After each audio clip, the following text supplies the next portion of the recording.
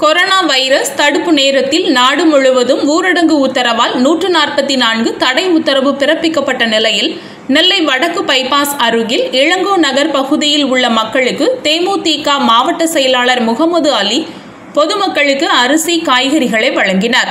இந்நிகழ்ச்சியில் மாவட்ட அவைத் தலைவர் மீனாட்சி சுந்தரம் மாவட்ட துணை செயலாளர்கள் பூக்கடை செல்வகுமார் மாடசாமி கலைவாணன் பகுதி செயலாளர் மாரிமுத்து நிர்வாகிகள் ராஜ் முத்து கோபி கணபதி ஆனந்த் செந்தில் மற்றும் மகளிர் அணிகளும் கலந்து கொண்டனர்.